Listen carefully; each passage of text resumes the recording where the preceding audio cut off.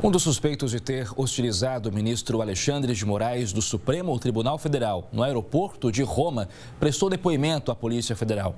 Ele negou ter xingado Moraes e afirmou que tentou impedir um grupo de pessoas que ofendia o ministro e a família dele.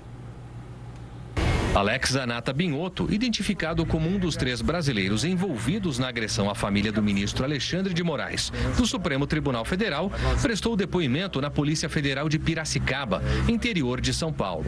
Segundo fontes ligadas à investigação, Alex afirmou no depoimento que não estava perto de Moraes no aeroporto, mas se aproximou depois que um outro grupo de brasileiros começou a ofender o ministro e a família dele. Alex disse ainda que teria sido ofendido pelo ministro por engano.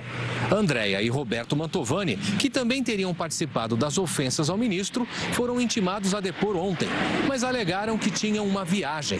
O depoimento ficou marcado para amanhã, também em Piracicaba. Em nota, Roberto Mantovani Filho e a esposa Andréia Mantovani lamentaram o que classificam como equívoco interpretativo em torno dos fatos. O casal disse que em nenhum momento ocorreram ofensas, muito menos ameaças. E afirma que aguardará a divulgação da íntegra das imagens do aeroporto para esclarecer o episódio. Moraes e família foram hostilizados na sexta-feira no Aeroporto Internacional de Roma, na Itália. O ministro participou de um fórum jurídico na Universidade de Siena. Durante as ofensas, Roberto Mantovani teria gritado e agredido fisicamente o filho do ministro. Ele teria acertado um golpe no rosto do rapaz. As três pessoas envolvidas na confusão estão sendo investigadas em um inquérito aberto pela Polícia Federal. Todos podem responder por agressão, ameaça, injúria e difamação.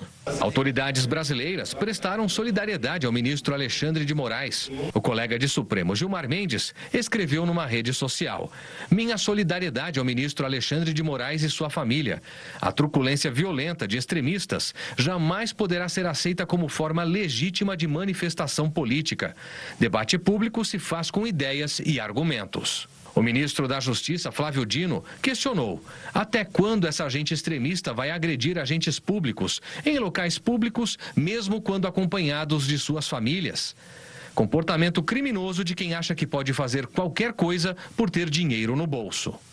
A Associação dos Juízes Federais do Brasil e outras oito associações de magistrados também repudiaram o ataque sofrido pelo ministro. Em nota, afirmaram que é preciso que se respeite a independência do Poder Judiciário e que os ministros devem receber tratamento digno e respeitoso.